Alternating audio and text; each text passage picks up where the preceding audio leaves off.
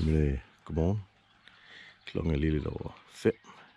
Vi er taget på klubtur med Storebælt Småbusklub i Sandham, Sverige. Og øh, lige om en lille times tid, så er der morgenmad. Og så skal vi ellers ud og se, om vi kan fange nogle laks. Rampen ligger lige herover og hytterne her. Og så kunne vi egentlig lægge til her, men der er ekstremt lavvandet, så, så vi valgte at lægge os om på den anden side. Men det er en helt vildt fed havn, hvor hytterne ligger lige her ved siden af. Jeg vil lige prøve at gå om og kigge til, til bådene. Nu er det jo egentlig helt tosset, at øh, jeg ikke har været nede og lave en masse ballade med, med Sanders båd. Man nu ikke er her. Vi er fem både fra klubben af. Det er Big Bandit, Dylfi, os, Team Frederik, og så ligger Team Falken øh, derovre. Skal vi have fire dage heroppe. Må vi satse på at fange nogle store, flotte laks. Det er i hvert fald planen. Må vi se, hvad der sker.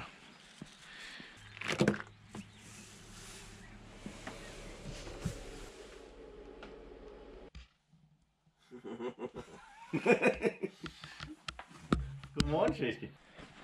Total late show. Vi andre, vi har bare været klar i timevis, og så dukker manden op nu. Jeg er jo ligesom den eneste, der er i båden, sømand. Skulle da utroligt. Vi har været hernede og kigge fem gange. jeg, jeg vil ikke vide, hvad I har været i gang med i timevis. ja, alt var det jeres kærlighedshytte. Har du spist morgenmad, eller Mamma, har du spist morgenmad? det er selvfølgelig det, vi har aftalt, vi gjorde kl. 6 lejlighed. ja, det har jeg, men jeg har en masse, jeg lige skal have gjort klar. Så det er.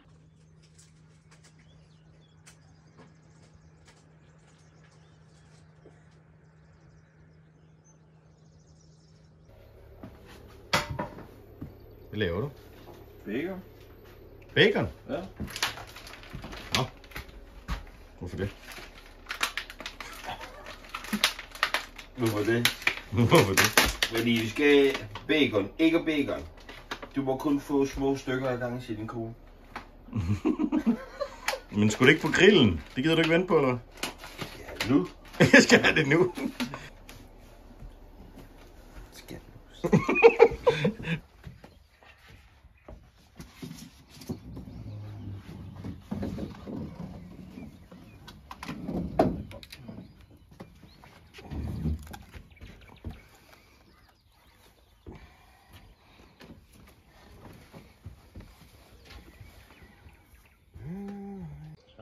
er en fin størrelse.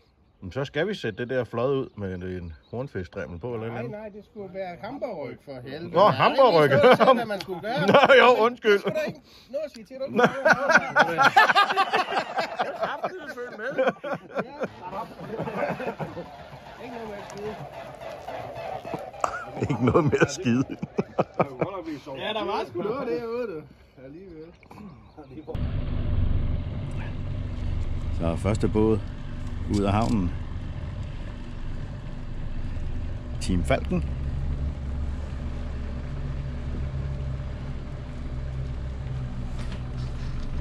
Er vi også ved at være klar, Per? Vi er lige ved at være der.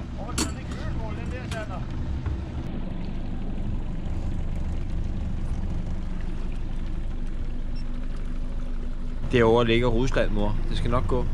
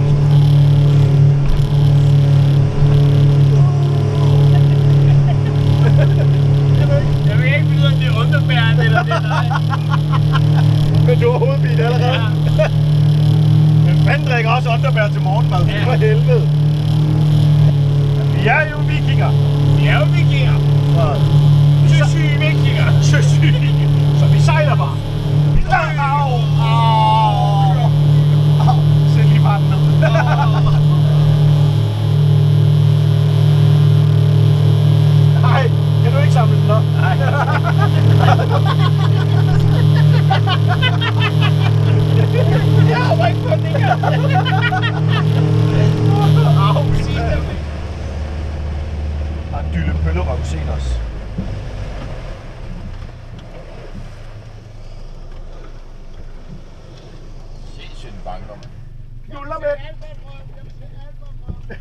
Han vil gerne have se Albert Røv senere. Og du får den nu.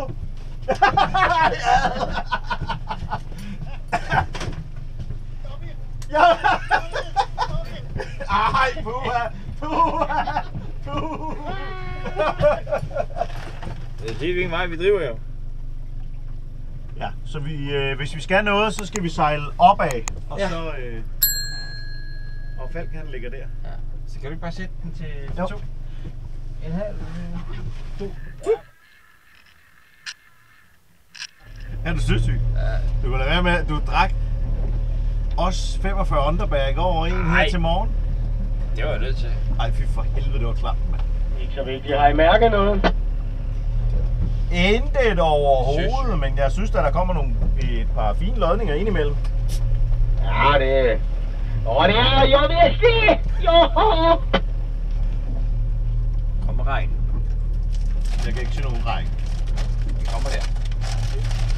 Jeg skal lige høre, øh, inden jeg, jeg krydser jeres kølvand, ligger han også og, og ørler lidt over reglingen, ham Albert der?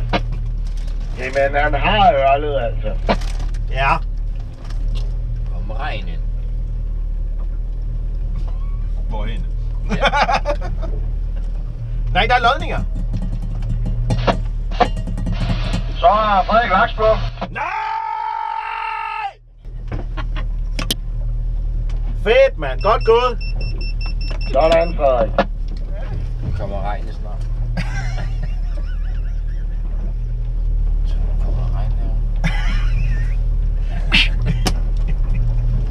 Hvorfor har du ikke sagt noget? Hvad skal jeg sige? Du kunne da godt have sagt, at regnen var på vej. Jeg har sagt, at regnen var på vej hele tiden, lige siden vi forlod land. Kom det ud. Åh, Jannik og dem har slet ikke nogen kalesje på. Det har de ikke, nej. Nej, puh, fy for satan. Ja.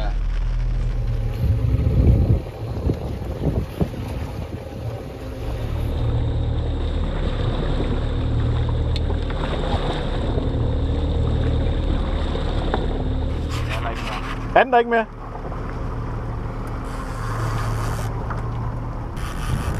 Ej, vel, Per. Det er tang. det var ikke engang en overfælde.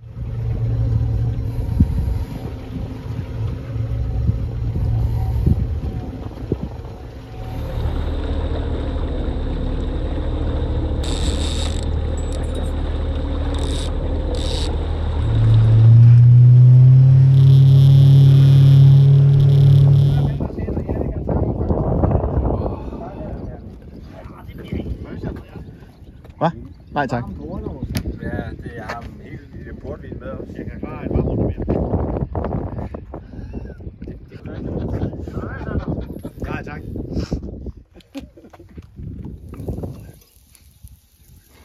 Bare lige vise, du godt selv kan lave mad. Ja. ja. Skal bare se Ingeborg. Han kan godt. Glemmer min krop med dine...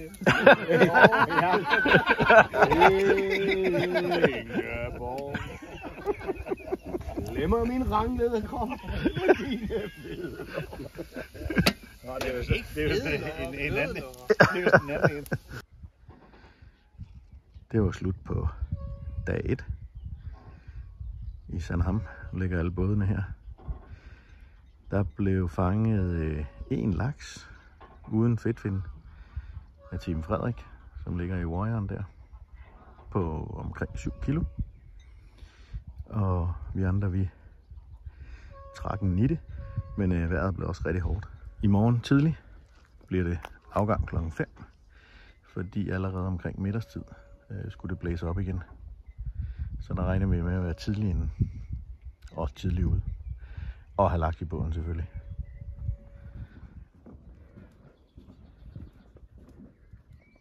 Hvad har du der, Per? Åsebryst. Åsebryst. Hvad skal vi til nu? Vi skal til at lave taktik. Ja. Ja, vi skal se, hvor vi skal sejle hen i morgen, fordi vi er nødt til at tage lidt tidligt ud. Ja. Det blæser nemlig op, så vi skal allerede tidligt ind. Ja. Så vi tager afsted kl. 3 morgen tidligt. Plus to timer. Cut. Vi skal afsted kl. 5. Og nok nødt til at sejle ind med middagstid, der blæser det op. Ja. Så nu skal vi lige se på, hvor vi har sejlet hen i, i dag, og hvor vi finder på Ja. i morgen.